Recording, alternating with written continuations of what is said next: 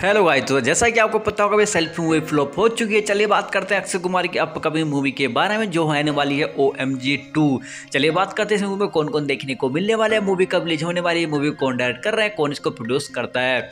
चलिए बात करते हैं मूवी के कास्ट को लेकर। मूवी में कौन कौन देखने को मिलने वाले हैं? तो बता दो भाई, इसमें देखने को मिलने वाले हैं अक्षय कुमार पंकज त्रिपाठी, यामी गौतम, अरुण गोबिलिहानी भाई हमारे प्रभु श्री राम भी इस मूवी में देखने को मिलने वाले हैं। As a lord Shri Ram. तो भाई इसमें आपको अरुण गोबिल सर जो श्री राम के रूप में देखने को मिलने वाले हैं और भाई ये देश प्रेम से रिलेटेड कहानी जो होने वाली है, जो कि काफ़ी अच्छी मूवी होने वाली है। शायद भाई ये कोई रिमेक मूवी है, यूके की मूवी का ऐसा बताया जा रहा था। अगली वीडियो में इसके बारे में बात करेंगे।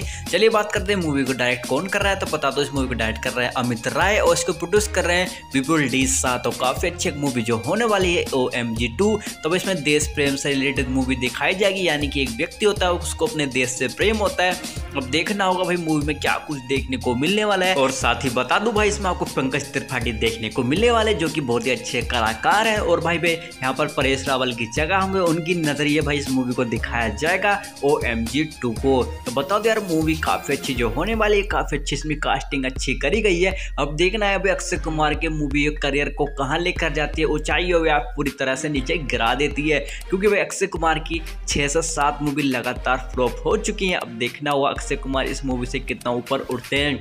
बता दो भाई, इस मूवी ने अगर हिंदुओं पे विवाद हुआ मूवी को लेकर हिंदू के देवी देवताओं को ऐसे मज़ाक उड़ाया गया तो मूवी भाई वाईकोट गैंग के हत्ते चढ़ जाएगी और मूवी पूरी तरह फ्लॉप हो जाएगी।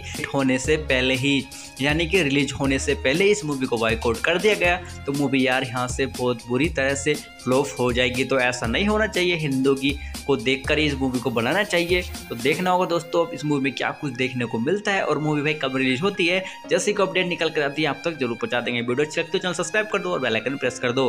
मिलते हैं नई वीडियो में न्यू डेट के साथ।